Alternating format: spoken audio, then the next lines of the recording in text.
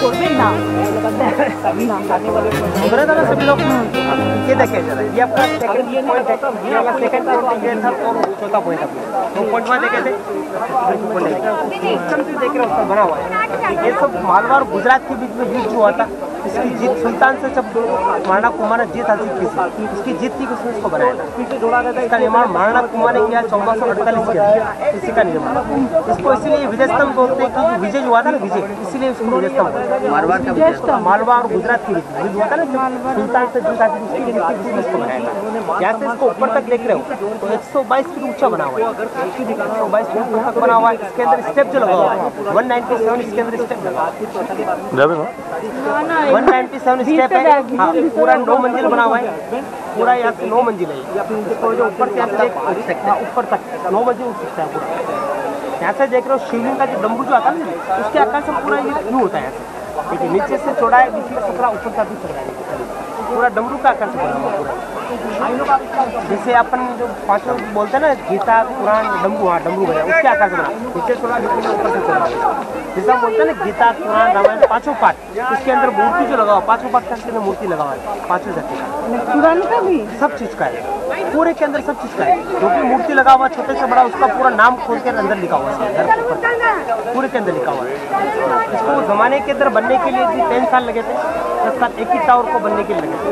इसमें खर्चा जो पेमेंट जो किया होता है नब्बे लाख रुपए का एक ही टावर के अंदर खर्चा है। एक ही टावर के अंदर। तो उस टाइम का नब्बे लाख। हाँ उस टाइम के आपको जो मैंने बताया कि पूरा फोर्टेन एटी फोर जो वाटर टैंक बने हुए हैं, ये गार्डन जो देख रहे हैं। उसके अंदर भी दीदी पचास से साठ फीट इसके अंदर बड़ा वाटर टैंक बना हुआ था। जब राणा रतन सिंह जो था उसकी दो वाइफ थी। फ़र्स्ट थी कर्णावती उसने एक हज़ार तीन सौ रानी के साथ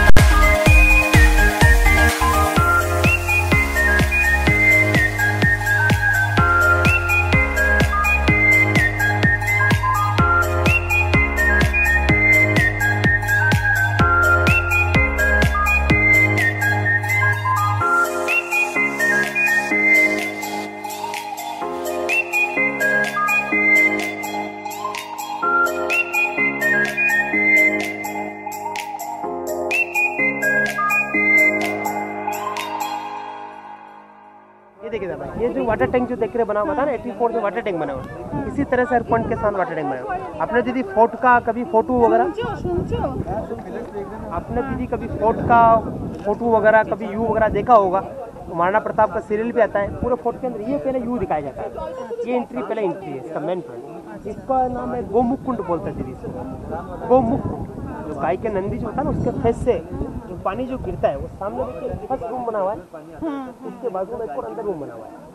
उसके जो नंदी जो होता है उसके फेस से पानी जो गिरता है बारह महीना गर्मी में ठंडा और ठंडी में गर्म पानी। ऐसा नहीं कि उसका बारिश कम ज़्यादा हो गया लेवल कम हो जाएगा। एक ही लेवल से पानी गिरेगा उसके तो वो पानी जो गिरता है शिवलिंग के ऊपर ही गिरता है। नीचे शिवलिंग बना हुआ शिवलिंग के ऊपर पानी गिरता है। रानी पद्मावती जो थी वहाँ से स्नान करने के बाद शुद्ध पानी से और शिवलिंग की पूजा पाठ करने के बाद में एंट्री जो करती थी डायरेक्ट सुरंग के दरवाजे से पद्मनी पैलेस के अंदर।